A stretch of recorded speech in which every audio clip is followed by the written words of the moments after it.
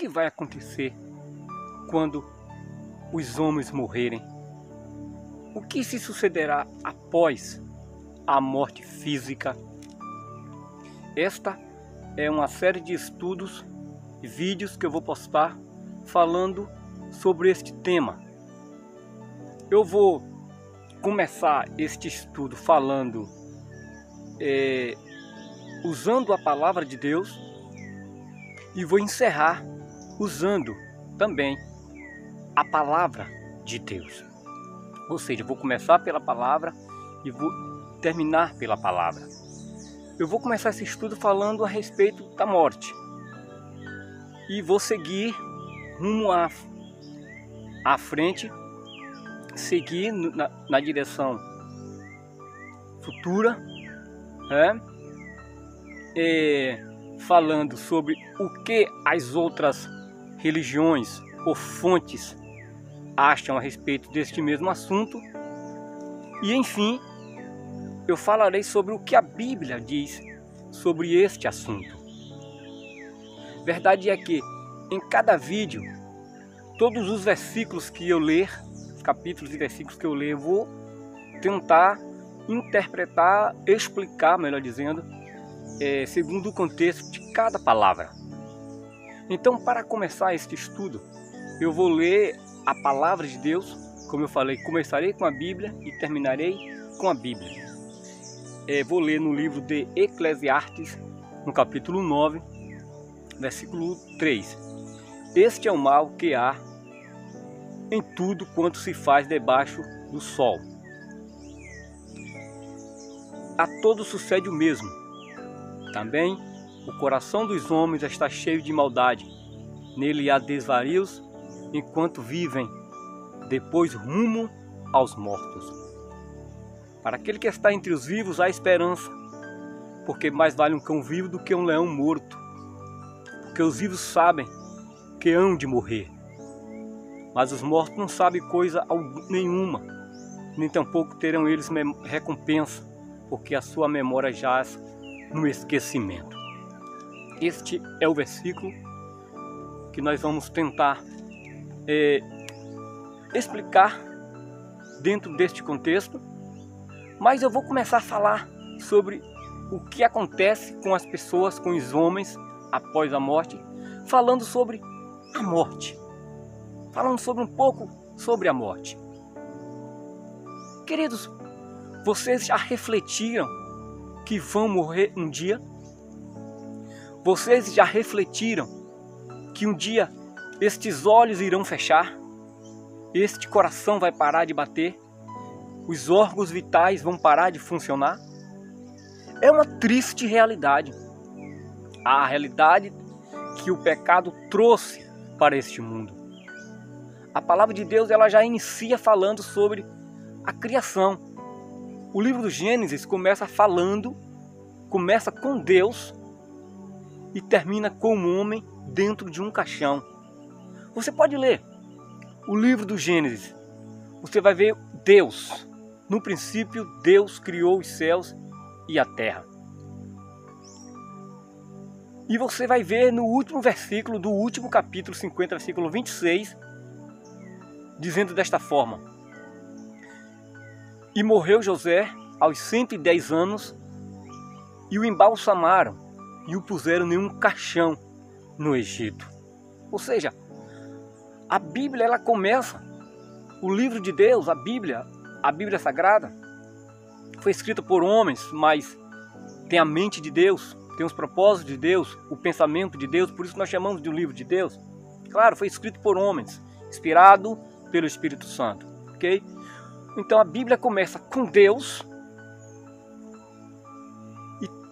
com as maravilhas da criação, com a beleza dos cosmos criados o planeta Terra e tudo que nele há, e termina com o homem dentro de um caixão. Olha aí, olha o que o pecado trouxe para a humanidade. Desde o Gênesis, Gênesis capítulo 3, nós, vire, nós vemos lá, nós encontramos lá o porquê da morte. A morte entrou no, no mundo por causa do pecado, ou seja, a morte é uma consequência do pecado. Os homens, eles morrem. Somos mortais. Nós não somos como os animais. No sentido, os animais morrem. Mas o que acontece depois que os animais morrem, morrem, a Bíblia não revela. Há um mistério nisso aí. Mas o que acontece com os homens após morrer, a Bíblia revela.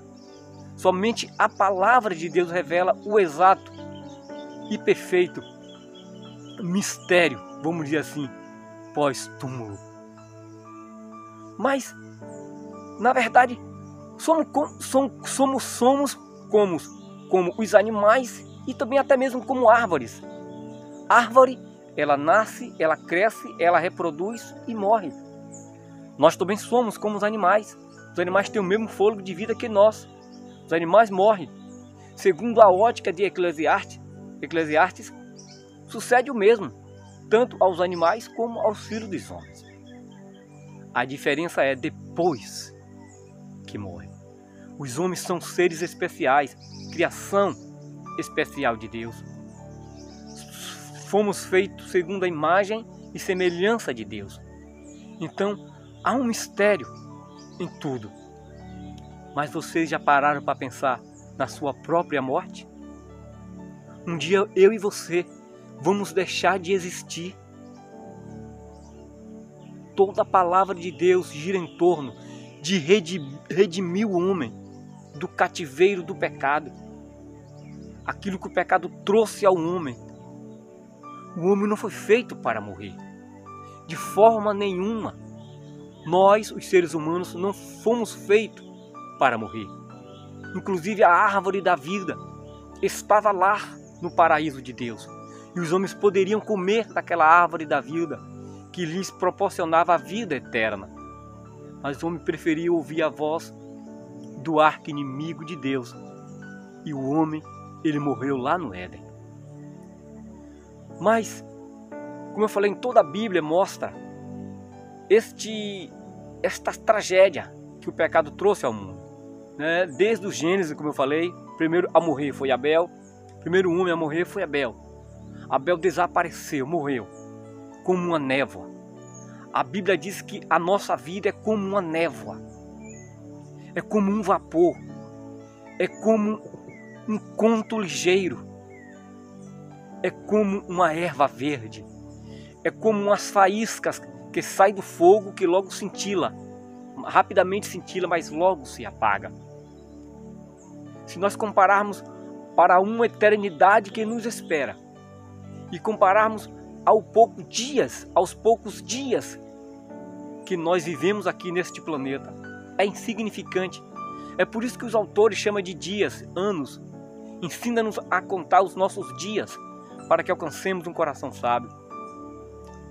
É, Davi diz: Faz-me conhecer o meu fim, ó meu Deus, para que eu saiba quão frágil eu sou e qual é a soma dos meus dias, para que eu, para que eu saiba quão frágil eu sou. Então, se formos compararmos a eternidade que nos espera ao oceano de uma eternidade sem fim. Fui até redundante aqui, mas eternidade é diz tudo. É um tempo sem fim que nos aguarda. E se nós colocarmos em paralelo com os poucos dias que nós vivemos aqui, é insignificante. Aqui nós passamos alguns dias, mas a Bíblia mostra que quando o homem morre, não acaba. Há uma continuidade da existência. Então, Eclesiastes capítulo 9, a ótica do livro de Eclesiastes está em tudo que acontece debaixo do sol, ou seja, nessa existência. Então, eh, Salomão ele viu algo mal. Ele disse: Este é o mal que há em tudo que se faz debaixo do sol ou seja, nesta existência, que a todos sucede o mesmo. Ou seja, o que ele quer dizer? Que tanto morre o homem como os animais. Ele diz que o coração do homem está cheio de maldade, há desvarios. E depois, rumo aos mortos. sempre há, haverá um depois para esta nossa existência aqui. Haverá um depois para mim, haverá um depois para vocês que me ouvem. Depois, rumo aos mortos. A sepultura aguarda os homens. A morte está esperando lá na frente todos os seres humanos. Às vezes ela pega de surpresa, antes da hora. Antes da hora há um mistério. Muitos vão antes, outros vão depois, mas todos morreremos. Então, e ele diz: para aqueles que estão entre os vivos, há esperança. Porque, porque mais vale um cão vivo do que um leão morto. O cão, para os hebreus, era um animal mais imundo e desprezíveis. Era, eram os animais mais imundos e desprezíveis por eles. Mas na ótica de Eclesiastes, o que é que, o que, é que Eclesiastes quis dizer? Que, que um leão morto não vale nada. Ou seja, quem já morreu não volta. O leão morto não serve para nada. Então, ao invés de um leão morto, um cão vivo, mesmo seja que fosse desprezível para judeus, mas seria melhor um cão vivo do que um leão morto.